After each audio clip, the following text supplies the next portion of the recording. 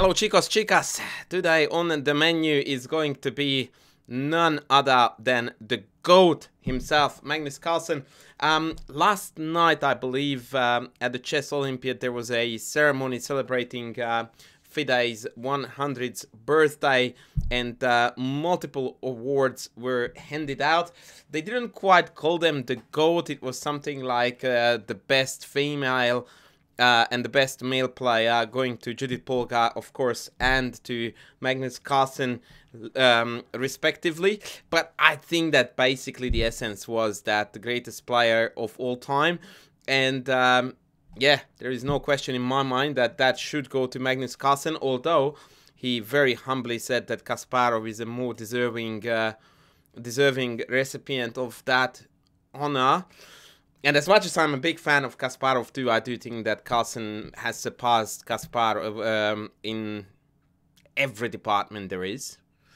Um, but yeah, anyway, um, I thought that for this occasion, therefore, uh, the most logical thing to do would be to analyze a Magnus game. And as luck would have it, Magnus did win his game against uh, Le Quang Liem a uh, absolutely top tier GM from Vietnam. So let's have a look at this game.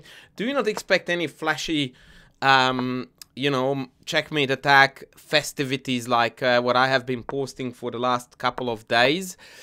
Obviously, above 2700s, tiny nuances decide games, uh, not so much the fireworks, but sometimes those nuances are just as instructive excuse me, and fun to watch as uh, those very fun sacrificial attacks. So the opening started off as a semi-Slav, which then uh, transposed back into a stock standard mainline Queen's Gambit declined.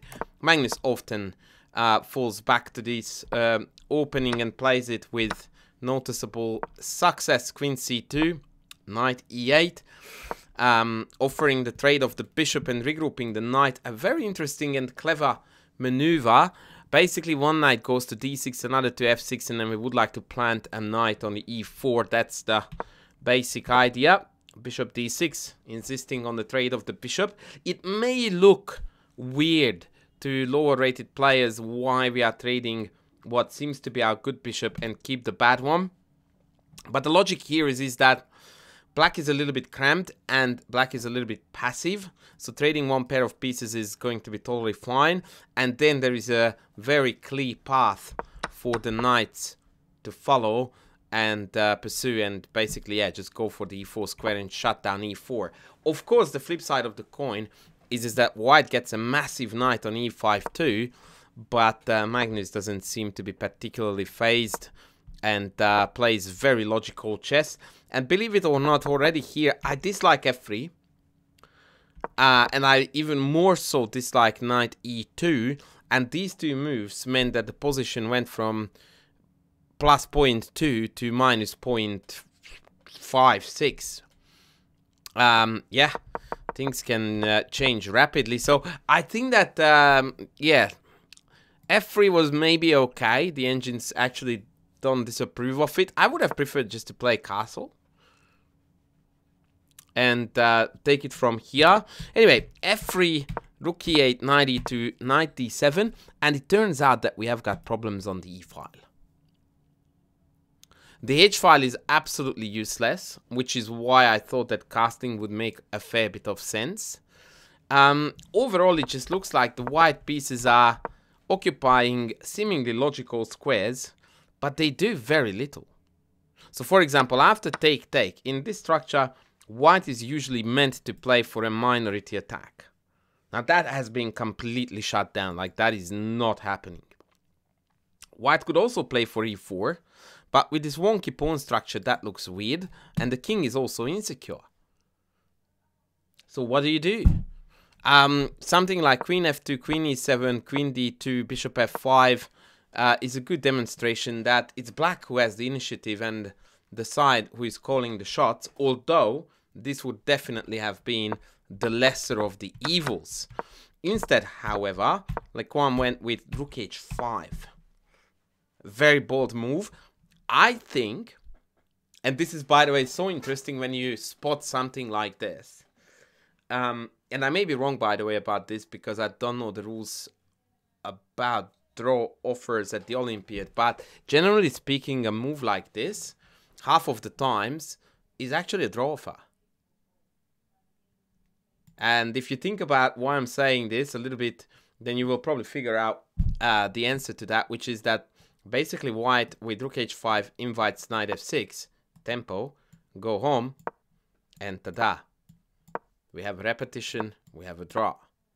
I do think that it might have had to do with the draw for that uh, Le Quang played uh, rook h5, but Magnus was not interested. He goes, nah, nah, I, I like my e-file. I like how sturdy my position is. I like the lack of obvious plans on your side, senor. So show me what you got. Take, take, king f2. And here, there is a very interesting moment in the game. And I think this is one of the biggest telltale signs of why Magnus is actually the GOAT. Because I would find it very difficult for black to resist the temptation to take this which is a motive that was used in the game, by the way, um, as you could probably figure from the thumbnail too. King takes queen e8 check, and we pick off the rook. What's wrong with it, you may ask? I'll show you. After king f2, queen takes, check, knight f4, and all of a sudden, we have got some small problems. Nothing major. Like right now, I can't come in because um, I think I can take this actually and then I can just walk here, take and walk away with 5,000 extra pieces. But the mere fact that I have got so many threats on the light squares and all of the white pieces all of a sudden became very active, this should tell us that this is not the way to go. What did Magnus do? He goes like, no worries. I will just shut down this entire operation. No biggie. And indeed, this would be, under normal circumstances, a tragically terrible move because it weakens the dark color complex really badly. But the reality is, is that this knight on e2 is so horrendously placed that it doesn't have the faintest hope to be rerouted toward e5. I would need to play one, two, three, four moves for that. That is way too unrealistic. So f5 played, and this is where things went completely off the rails from uh, the Vietnamese perspective because I don't know what this was. Uh, obviously, rook e3 is pending, and um, he more or less just ignored it. And now white is a pawn to the... Uh, sorry, black is a pawn to the good. Although white does have some counterplay because now the minor pieces are a bit loose. But Magnus consolidates this like with so efficient in such an efficient manner with seemingly so little effort that it almost feels like, yeah, he's playing a different game. So just pulls back the queen and attacks the d4 pawn. And done dusted.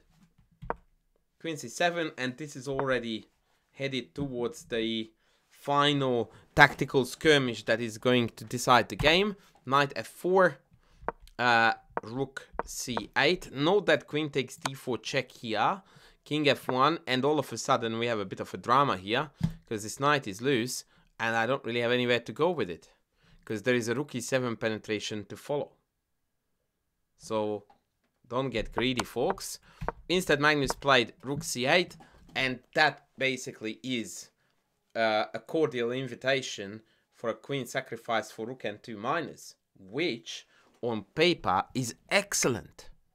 So take, take, take. I wish that those double question marks um, hadn't come up. Check. And then uh, take on B2 or, you know, sooner or later we, we shall take on B2. Um, this is the idea that um, the Vietnamese GM pursued. The problem here is, once again, the math works out for white perfectly. And if you only evaluate the position of, um, on the basis of numbers, then you are golden. Right? But there is more to it than just the numbers. And that is the fact that, of course, you don't go to h7 like I did, but go to f7. That is the fact that A, the queen becomes incredibly active. Two, uh, the white army is a little bit disjointed. Know that g5 is a threat to hit the knight and uh, hang the bishop. The rook is separated from the rest of the crew. And we are picking off a lot of pawns. g5. Maybe Le Quang was very, very attracted to this idea. And he thought that this was sufficient to play for at least a draw. Obviously, I can't take. Very clever trick because of takes, uh, check and takes. And if the king goes to e7, then there is check, and then I can take here. I think this is how far the Vietnamese GM calculated, but his evaluation was way off here because after queen b2, black has already two connected passes, two and a half, and with the a pawn being so motherless, it's likely that black is going to have four connected pass pawns. And then the math no longer adds up and it doesn't make any sense. And Carlsen converts here without any dramas whatsoever. He takes the third pawn and he just starts rolling set pawns. Defends b7, queen b5 check, bringing the defender, the queen a little bit closer to home. And tada, the pawn is rolling and the game is over. Now that was definitely a goat-esque move, sacking the queen for the knight, introducing a new queen to the party in two more moves, and still leaving us with three um, potential future queens too. Um, but yeah, now the white king is in mortal danger too, and so that was the time when the Vietnamese GM Le Quang Liem gave up. This would have been, could have been the last touch. Masterful play by Magnus, equalizing in the opening, posing problems, um, out calculating the opponent in the complications, converting with computer like accuracy. That's what the GOAT does.